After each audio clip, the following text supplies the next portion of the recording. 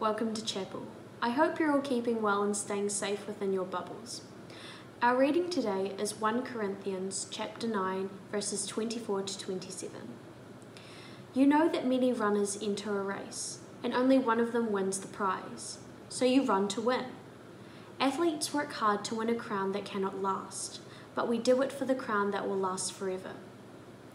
I don't run without a goal, and I don't box by beating my fists in the air. I keep my body under control and make it my slave, so I won't lose it after telling the good news to others. My netball shoes haven't had an outing for seven weeks. Many of us are missing our usual activities. I'm missing being around friends. And I'm missing variety. I'm really grateful that there are so many things we can do during lockdown.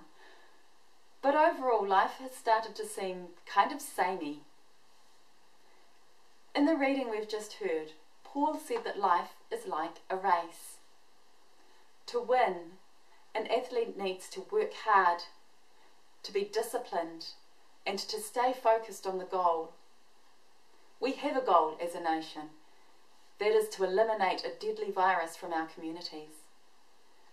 But we also need personal goals so we can stay focused and live well. Paul had a clear sense of purpose in his life.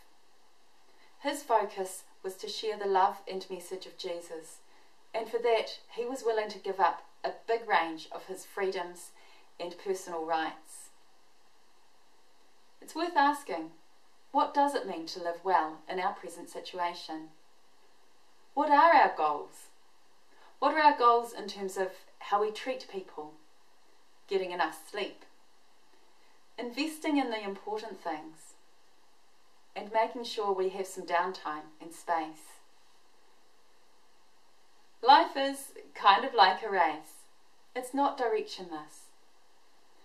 Even in these unusual circumstances, our lives have purpose and it matters how we live.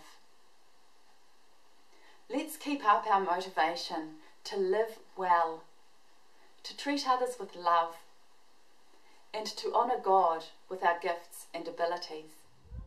Dear God, I pray that you keep our thoughts positive during this tough time. Help us be patient as we save lives by staying in our bubbles. We understand that we may not be able to play our sports or enjoy our normal activities, but we thank you for the opportunity to spend more time with our families. I pray that you keep us all sane as we come to the end of our sixth week in lockdown. We thank you for all of the doctors, nurses, and essential service workers who have worked so hard throughout the past few weeks. I pray for wisdom for our government and to help them make the best decisions possible for our country. Finally, may the grace of our Lord Jesus Christ and the love of God and the fellowship of the Holy Spirit be with us all now and always. Amen.